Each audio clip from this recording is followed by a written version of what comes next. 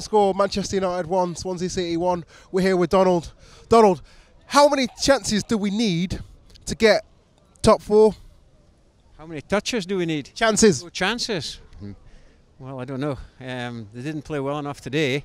Uh, Rooney didn't play well enough in midfield, and the opportunities they had up front, they just didn't take them.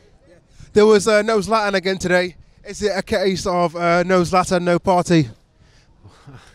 I'm not sure. I'm not sure. I don't think so. Um, I think the players are good enough. They just need to adapt and apply themselves better. Didn't think there was enough energy in that team today. You know, uh, Luke Shaw came off injured. Yeah, I don't know what happened there. What happened there? Uh, you know, I'm not even sure myself. We're still waiting to uh, find out the full extent. We turned round and he was down. I don't know what happened there. Haven't a clue. Another draw at home. You know, uh, fair enough. We're you know we're unbeaten since like you know going back to you know last year. But is it good enough considering all the draws that we've had? Not good enough, no. I don't know what José's going to do. He needs to make some changes.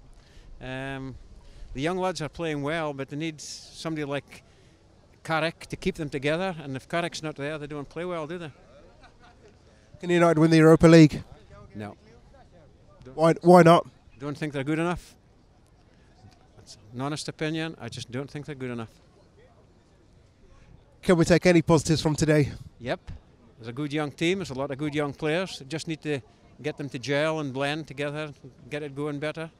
There's no problem there. It's just going to take time. Who's going to be key next season for United? Probably the young boys up front. Probably Martial and Lingard. These guys, they're the guys. They're young. They're quick. They're good. Rashford as well. Oh, Rashford. Oh, I missed him. Yeah, he's a good player. They're all good players. They just need to get them gelling together. Do you think that we will need to buy another striker in uh, the uh, transfer window, or you know, is is Rashford going to be good enough to kind of take United forward next season? Rashford's good enough, I think. Yeah, I think he's. I don't think you need to buy a striker.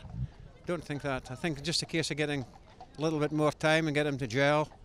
They'll be a good team. They'll be a good team. Cheers, Donald. Thanks a lot for your time, mate.